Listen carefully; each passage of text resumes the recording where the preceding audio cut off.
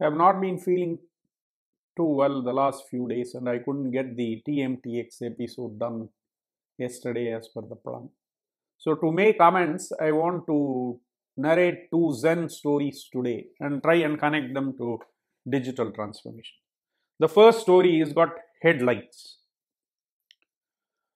There is a person by name George who uh, seems to be suddenly having a lot of problems in his life.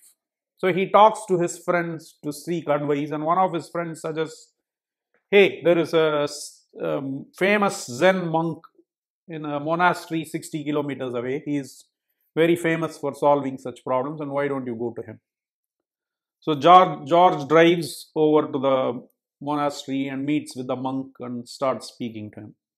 The monk is very welcoming and listens patiently. George goes on and on about his problems, and it's uh, almost evening and it's getting dark.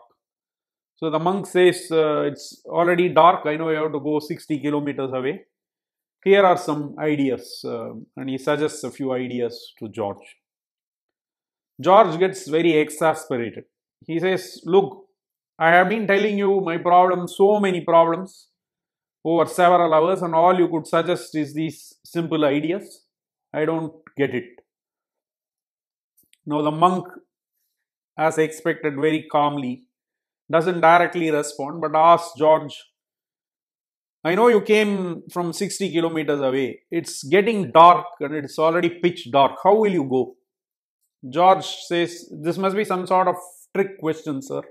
I came in my car and there is a car has headlamps and I can use that to navigate and reach my destination. The monk uh, says, But sir, uh, you your headlights cannot shine 60 kilometers away, right? So, how will you be able to go? So, George says, Sir, this must be some kind of joke. Why do I need to see that far? All I need to see is a few feet ahead of my car and I will just navigate and reach my destination.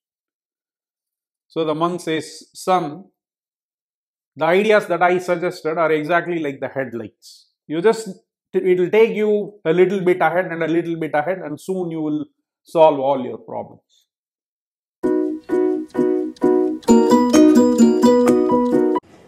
Can anybody guess what this picture is showing? Yeah. What's special about the atm picture? The first atm anybody? Who did it? Sorry? No it's a bank. Very good. Barclays. That was 1967. Uh, you should read about it, it's fascinating.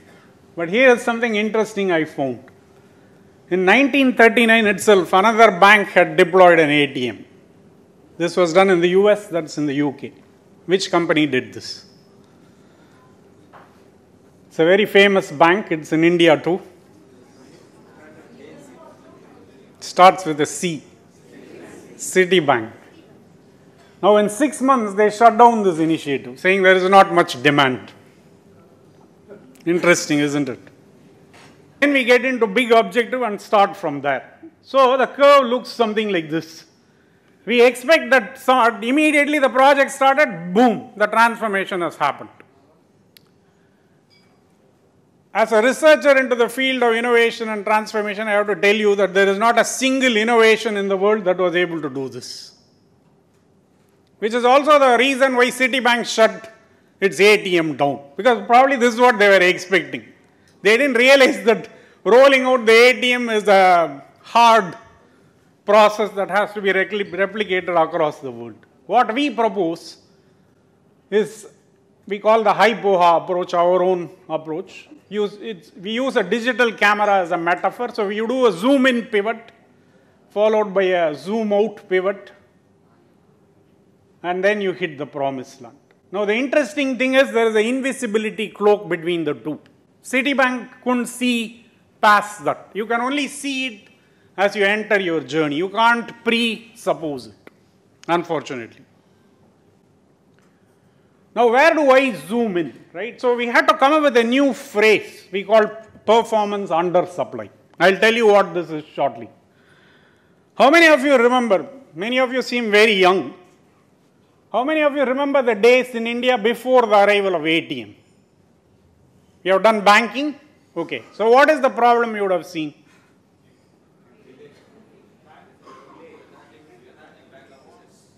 Queues, lethargic bank offices, manual process with ledger.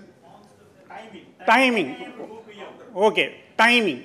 Now, on weekends you couldn't withdraw money, your own money. Now, did you see that as a problem?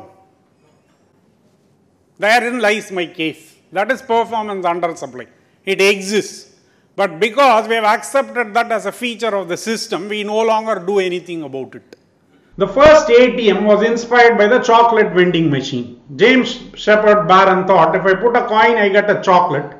Why not I get put a token and I get 10 pounds of cash? That's how the first ATM started. Dance in the middle of the street to catch the cab, that is accepted procedure. None of us would question it. So now if you look at every industry, every job, every function that you do, it has performance under supply. You have to notice it, but it is bottom of the iceberg. It's not easy to spot. I will give you one more. How many of you have met your doctor without having to wait? Assuming that doctor is reasonably popular. I have not seen a single human being raise their hand to this question because it's not possible through the world. But did you complain about it? You didn't. You don't. Because what is going to happen, especially in India, if you complain to your doctor, next patient, there is a big queue over there. So there is now, whichever person who is working on this problem, they solve it, they can rewire the healthcare system around their innovation, like what Uber has done. It's very simple, but it is far reaching in its impact. Having listened to the story of the ATM and the concept of performance under supply, many of you will connect the Zen story to the fact that the monk was giving a series of zoom in pivots to George. The point is, many companies see digital transformation as a big problem and they are like George looking for a big solution. Whereas the answer seems to be to start with a zoom in pivot and then do a zoom out pivot. The second Zen story is called Monks and Combs.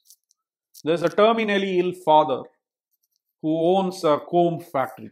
So he calls his uh, three sons over to his bedside and tells them that, sons, you know that I don't have too much time left. And I want to hand over the comb factory to one of you. I will not uh, split it three ways like a regular father. So I'm going to give you all a challenge. In the next one month, whoever sells the maximum number of combs to the monastery, the Zen monastery near our village up the hill, gets the comb factory. So the sons have been dispatched onto the job. Four weeks elapses, and all the sons, three sons, come back to the father's bedside.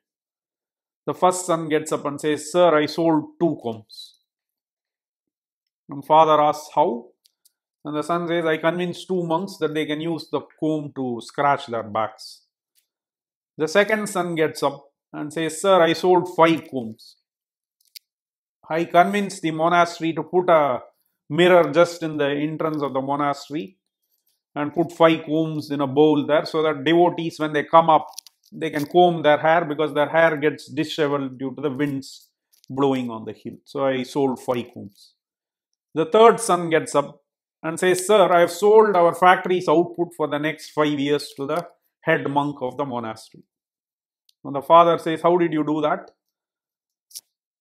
And the third son says, Sir, all I did in the last first two, three weeks was went and I sat there and observed what was going on in the monastery. And I spotted a problem. So I went to the head of the monastery and said, Sir, lot of devotees come, which is a good thing, and then they do make donations, but I found that you are not giving anything in return. And I have an idea. Why not we give a comb? And I can actually emblazon one of Buddha's sayings onto the rim of the comb. As a we can give this to the devotees and whenever they comb their hand they will think of your monastery and god's message will be um, reinforced in them. So the head of the monastery really liked the idea and signed a contract with me for our factory's output for the next 5 years Now, what is the mistake that the first two sons made? And what did the third son do correctly? And how does this story connect to digital transformation? I will leave that as a puzzle for all of you to solve and you can post your comment. And I might consider giving a book or something like that to the best answer. Please chime away in the comments section. See you all in two weeks.